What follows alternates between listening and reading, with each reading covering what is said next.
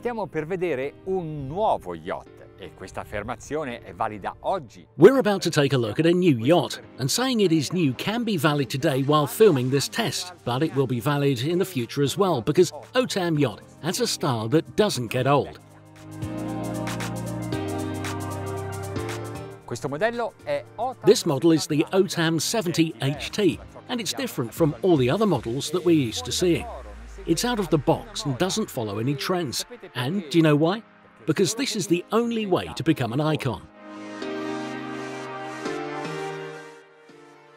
Once again, the hull was designed by Umberto Tagliavini, and that makes it reliable in every aspect solidity, performance, and comfort. Sapete qual è l'ultima frontiera del super Do you know what is the latest frontier of super luxury in the automotive sector? Having a car that is unique, built by a famous brand, designed exclusively for a single customer.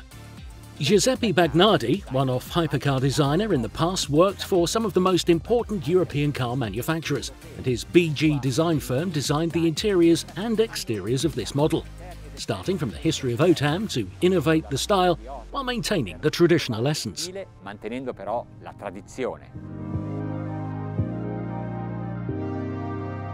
The profile reminds us of that of a sports car, one of those with a raised hood to make room for the supercharged engine. The same shape is repeated on the deckhouse. The line that connects all the windows on the hull, on the other hand, offers classicism and elegance. I find the design of the cockpit very bold, and this is an area that is not always aesthetically enhanced. The stern can be completely different, for example with a nice sun deck. On the roof, the large central air intake, which, seen from above, resembles a manta ray whose wings join with the pillar that descends on the gunwale. The purpose is to get a lot of fresh air into the engine room, not only to cool it, but to give oxygen to the combustion chambers and make the engines perform at their best. The windshield is a portion of a spherical cap. Everything we see has been made in-house by expert craftsmen with the typical made in Italy cab.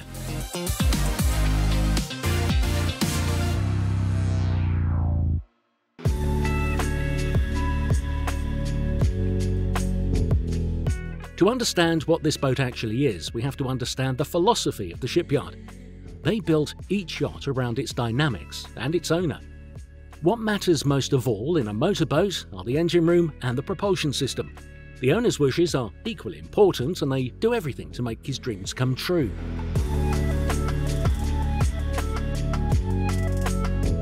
Basta sedersi nella postazione di comando per capire che cos'è uno yacht. You just have to sit in the pilot's seat to fully understand that an OTAM yacht is a fusion of art and technology.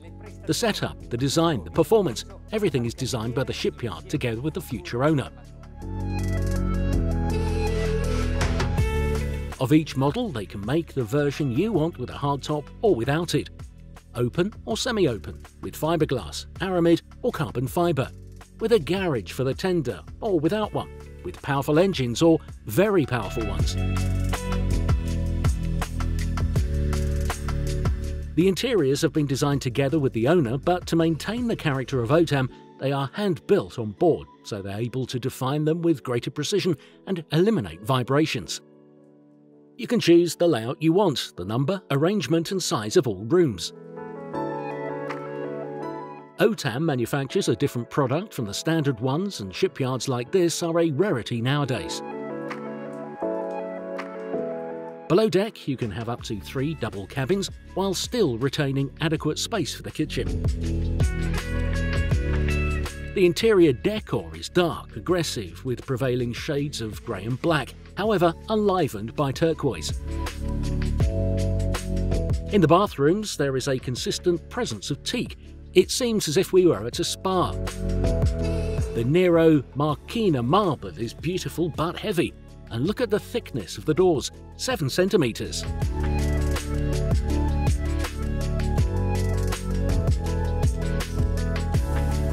The leather floor is not very marine, yet it is spectacular. The dunnage, on the other hand, is all on the same level, and this feature is really nautical.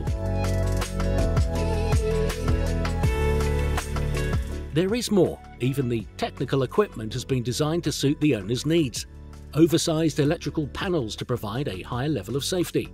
The fuel tank capacity increased from the standard 5,500 litres to 7,000 litres, double that of other similar boats. Basically, this model is quite heavy. We must take this into account in navigation.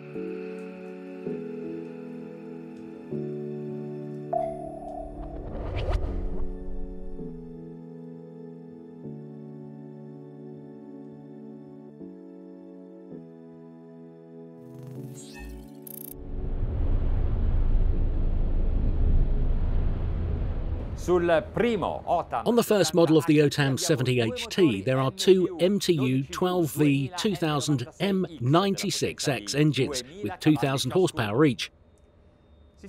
Propulsion system with OTAM roller surface propellers and Arneson ASD 14 transmissions. I'll start entering in ploughing mode without the interceptors, with the trim of the propulsion completely lowered, and then I give gas.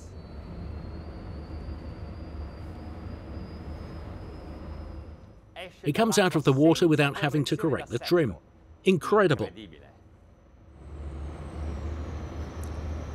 Can you hear it? The first turbine has started and we're about to enter the planing mode.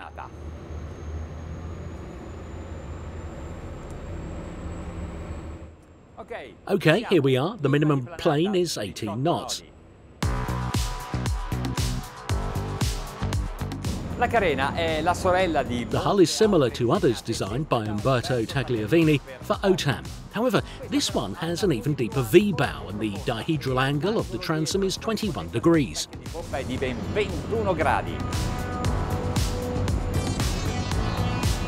Un armatore o un comandante, beh certo non sceglie volontariamente di navigare sul mare mosso. An owner or a captain certainly does not voluntarily choose to sail on rough seas, but since OTAM knows that this can happen, especially on long transfers, it offers the possibility to navigate on rough seas at even high speeds.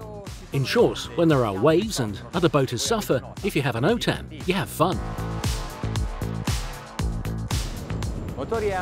Engines at 1900 RPM. We're around 33 knots.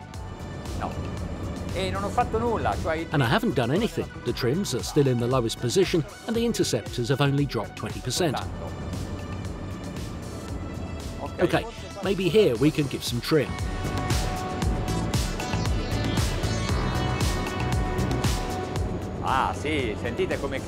Ah yes, do you hear now how the noise changes too? The engines have less load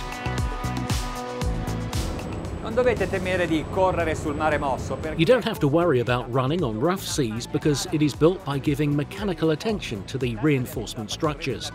First of all, it was made with vinyl ester resin and aramid fibres, and then the bulkheads are structural. They're connected both to the hull and the deck to form a monolith. This is what makes the boat last over time, if it sails for a long time and in difficult situations. In addition, the tanks for all liquids are also structural.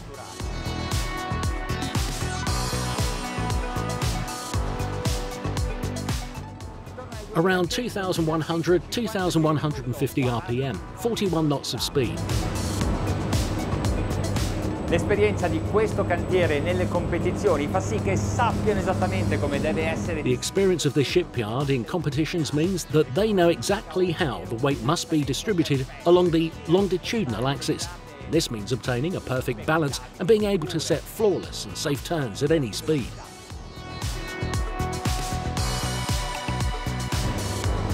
A questa andatura at this speed, around 40 knots, the consumption is around 16 litres per mile, and since we have a fuel tank capacity of 7,000 litres, we can cover over 400 miles. 430 approximately in total autonomy. 430 circa in totale autonomia. However, if you have a boat like this, you don't care about fuel consumption. You're just interested in enjoying it. And so, full throttle and with the trim up.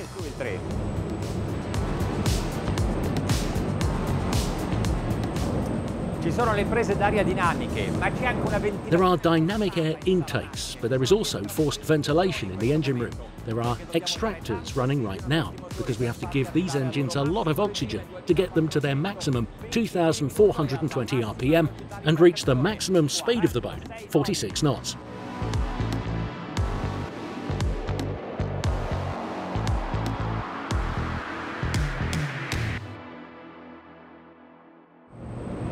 Ora se questo scafo fosse stato costruito secondo le specifiche del cantiere, quindi Now, if this hull had been built according to the specifications of the shipyard and therefore was lighter, I'm sure it would reach 50 knots. If you then want to exaggerate, well, know that OTAM can also mount two Caterpillar engines of 2,400 horsepower each on the 70HT. Do it, and then tell me what speed you have reached.